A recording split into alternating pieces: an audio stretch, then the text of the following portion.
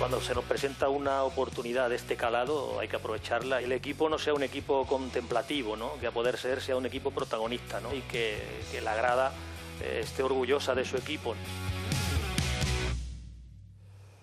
Ese es el objetivo. ¿Qué tal? Oscar Cano fue presentado oficialmente como entrenador del Club Deportivo Tenerife. Tras llegar ayer a la isla, el técnico granadino ya habla de los objetivos en este nuevo Tenerife. Tiene claro cuál es el fútbol que quiere desempeñar y confía en pelear por los puestos altos de la tabla.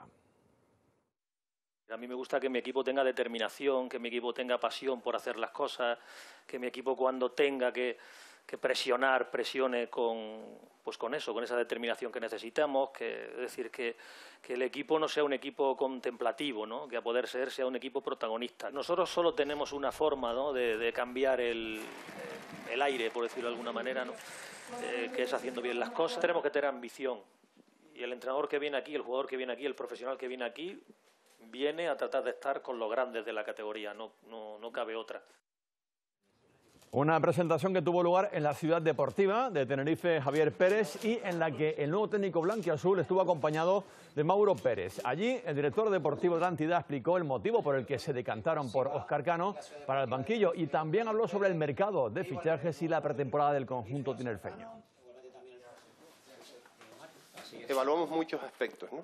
pero uno de los más importantes es las ganas de querer hacer las cosas bien, las ganas de demostrar, esa pasión también, eh, entendiendo que es un técnico con, con, un fútbol quizás, digamos, más valiente en la versión ofensiva.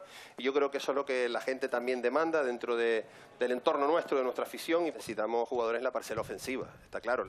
La opción de poder reforzar también las bandas, bueno, ahí sí necesitamos jugadores con un perfil, un perfil profundo, un perfil de, de piernas, de hambre, de, de, de un perfil de mucha energía. Yo creo que son nueve, pero también pudiera variar en función de la llegada de futbolistas en determinadas posiciones.